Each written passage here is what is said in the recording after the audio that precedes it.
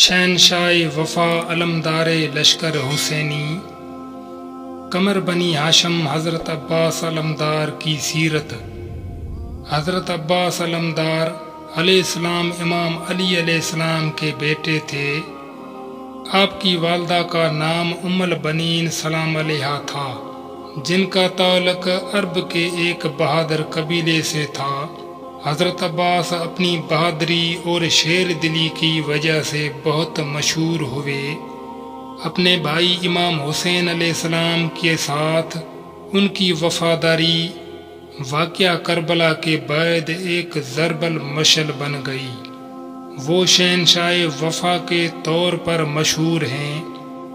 अतात इमाम वक्त और वफा अगर कोई सीखना चाहे तो उसे बाबल हवाइज हज़रत अब्बास अलमदार से सीखना चाहिए। हज़रत अब्बास अलैहिस्सलाम चार शोबान अलमुअज़्ज़म छब्बीस हिजरी को पैदा हुए। उन्होंने उस वक्त तक आँख नहीं खोली जब तक उनके भाई इमाम हुसैन अलैहिस्सलाम ने उन्हें अपने हाथों में नहीं लिया। बचपन ही से उन्हें इमाम हुसैन अलैहिस्सलाम के साथ बहुत मोहब्बत थी। हज़रत अली अलैहिस्सलाम ने इस अजीम अलशान बच्चे का नाम अब्बास रखा। रिवायत है कि हज़रत अब्बास अलैहिस्सलाम की पैदाइश का मकसद ही इमाम हुसैन अलैहिस्सलाम की मदद और नुसरत था। और एल बैत अलैहिस्सलाम को शुरू से वाक़ करबला और उससे हज़रत अब्बास के किरदार का इलम था। हज़रत अली इब्न अबी तालब ने अपने भाई अकील इब्न अबी तालब के मशवरे से जो इंसाब के माहिर थे, एक मुत्तकी और बहादुर कबीले की खातून फातिमा कलबिया से अकद किया और अपने परवरदिगार से दुआ की कि परवरदिगार, मुझे एक ऐसा बेटा अता करे जो इस्लाम की बका के लिए करबला के खूनी मरका में इमाम हुसैन की नुसरत व मदद करे।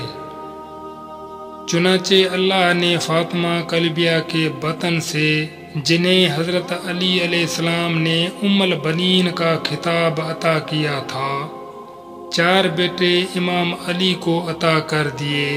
और उन सब की शुजात व दलेरी ज़ुबां जद खास व आम थी। और सभी ने मैदान करबला में नुसरत इस्लाम का हक अदा किया।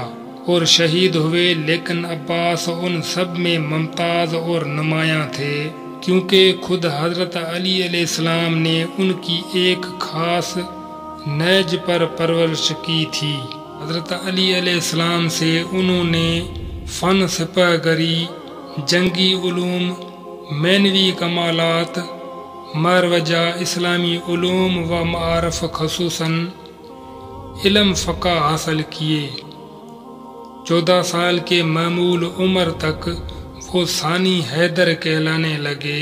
हज़रत अब्बास अलैहिस्सलाम बच्चों की, सरपरस्ती, कमज़ोरों और लाचारों की खबरगिरी तलवारबाजी और मनाजात व इबादत से खास शगफ रखते थे।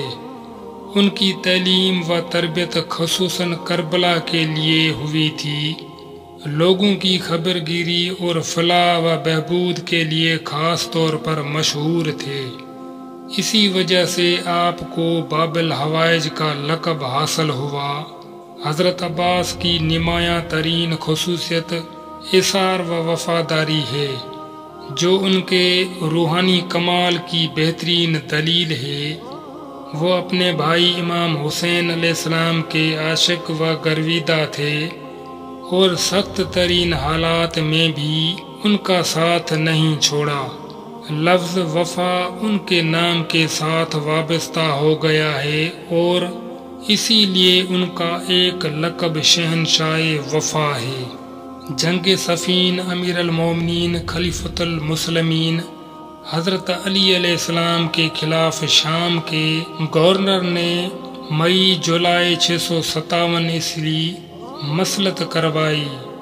इस जंग में हज़रत अब्बास ने हज़रत अली अलैहिस्सलाम का लिबास पहना और बिल्कुल अपने वालद अली की तरह ज़बरदस्त जंग की। हता के लोगों ने उनको अली ही समझा। जब अली अलैहिस्सलाम भी मैदान में दाखिल हुए तो लोग शशदर रह गए। इस मौका पर अली अलैहिस्सलाम ने अपने बेटे अब्बास का तारफ करवाते हुए कहा, ये अब्बास हैं और ये बनु हाशम के चाँद हैं। इसी वजह से हज़रत अब्बास को कमर बनी हाशम कहा जाता है।